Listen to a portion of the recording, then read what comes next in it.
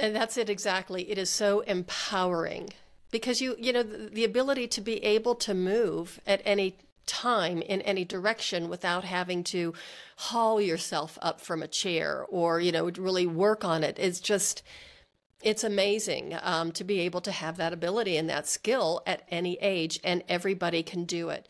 Uh, I am certified in something called Feldenkrais. So, mm-hmm. if the listeners have ever heard of the Feldenkrais method, it is all over the world. Uh, it originated from an Israeli man. Uh, his name was Moshe Feldenkrais, which is why it has such an unfortunate name. Um, but it is. Um, it's a movement modality. I explain it as a highly sophisticated form of neuromuscular reeducation based on the scientific principle of neuroplasticity, meaning that our brains, our bodies, our nervous system, keep in mind, our bodies as well, are mm. endlessly malleable, flexible, um, changeable during the entire course of our lifetime. So what we do in Feldenkrais is we start moving very slowly. We start moving very mindfully. We turn off all the devices, pay attention to how we're moving, how we feel, the sensations that are coming up as we move. And when I look back at it, intuitively that's kind of what I was doing in some way, shape, or form, but I was making it up when I was trying to get myself out of that chronic pain situation. And it's exactly what you were doing, moving slowly and figuring out how you could heal your back without mm. having those sensations being dulled by medications. Mm. So it's a very gentle but yet powerful way of moving. And it's also very similar to my martial art.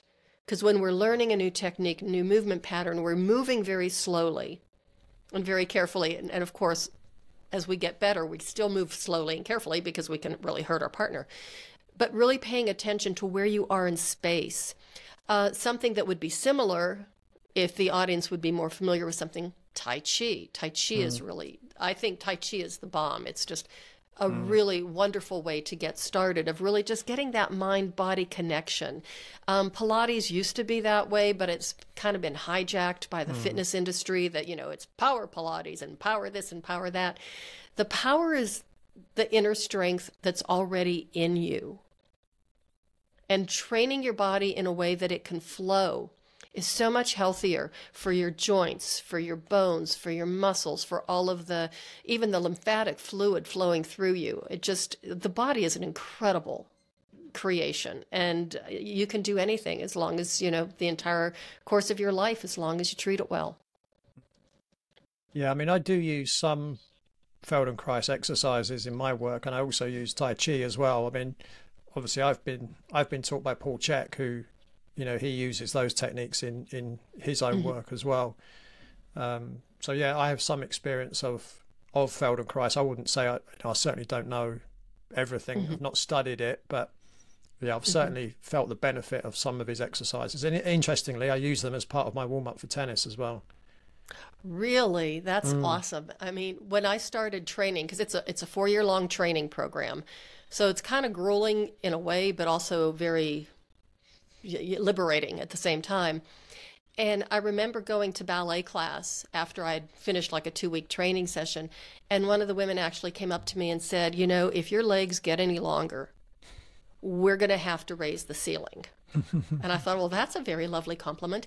But instead of doing the silly stretches, typical ballet things, you know, throw your leg on the bar and do these eh, eh, side bending.